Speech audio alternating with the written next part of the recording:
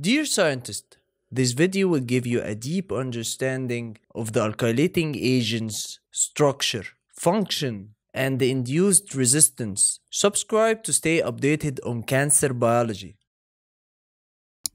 We divided the concept into three cycles with increasing level of details. Let's start with the first cycle. Alkylating agents is one of the five families of chemotherapy. Let's explore the function of these agents. Cancer cells are constantly dividing, and the alkylating agent is given to the patient suffering from a tumor to target and kill these cells.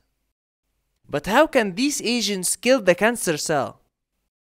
After the administration of that chemotherapy to the patient, it travels in the bloodstream and diffuses out to enter the cancer cell, in which it targets the DNA, causing a level of damage that will eventually lead to the cell death.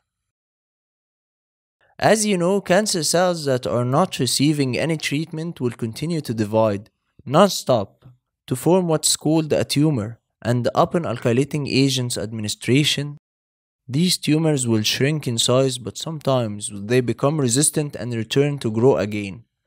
The question here is how can cancer cells resist the DNA damage and continue their division? Some cancer cells can adapt and resist the medical treatment by increasing their DNA repairing enzymes.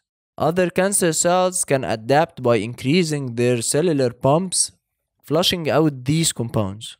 Good job, you finished the first cycle. Now let's move to the second one, and we will begin with the same question What are the alkylating agents? They are chemical compounds that are capable of producing a positively charged reactive alkyl group. They can be bifunctional or monofunctional. The alkyl group can bind to an oxygen, nitrogen, or sulfur atom because most often these atoms have partial negative charges. Now let's investigate what are the mechanisms of action of an alkylating agent within the cell.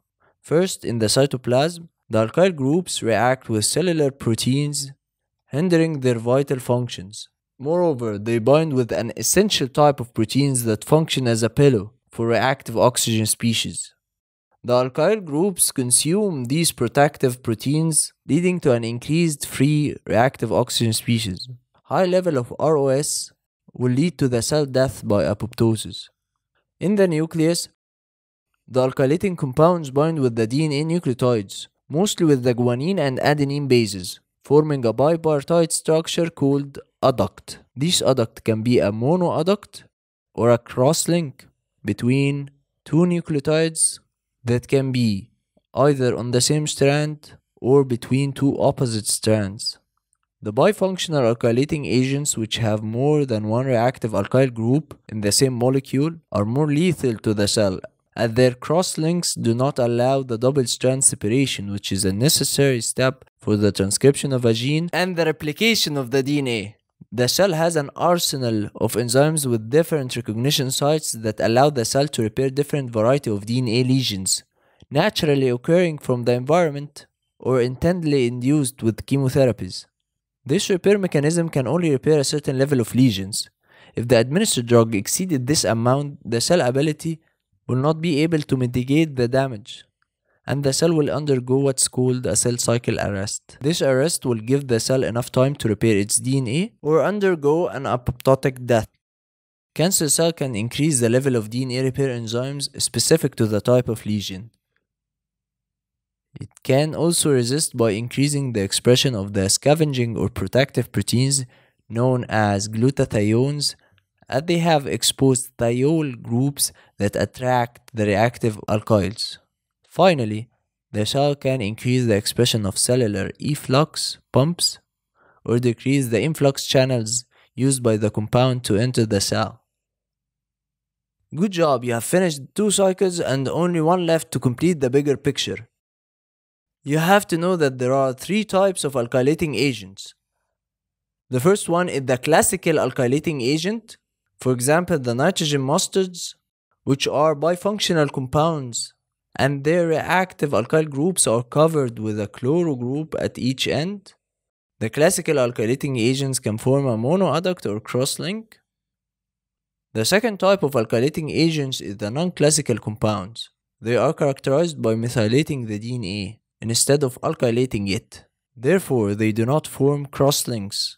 A temozolomide is an example of this type of reagents. The third type is the alkylating like agents. This class contains a platinum element that performs the same binding and cross-linking action of classical agents instead of having a carbon-based alkyl group. If your next research project is on one of the alkylating agents, you have to be aware that not all the classical agents behave in the same way, and each cell type has its own weaknesses and strengths. For example, we have the green alkylating agent is targeting a type of cancer cells by binding to its guanine base, specifically in the 7th nitrogen atom. If we change the alkylating agent, it may have a different binding site with the guanine. For example, it can bind with the oxygen number 6, forming a different structure of adduct. Each type of adduct has its distinct detection and repair mechanisms by the cell. And as we know, alkylating agents can stress the cell via different mechanisms, depending on the cell's capacity to repair the damage whether they are repairing the DNA damage, increasing the glutathiones to inhibit its activity, or to increase the efflux transporters. Congratulations, you have successfully finished the three cycles of the alkylating agents. If you are interested in cancer research and you want to have a background on cancer biology, always check in the description for a course that will be available on August 2023. And for now, what do you think? Which is more effective, the alkylating agents or the folate analogues?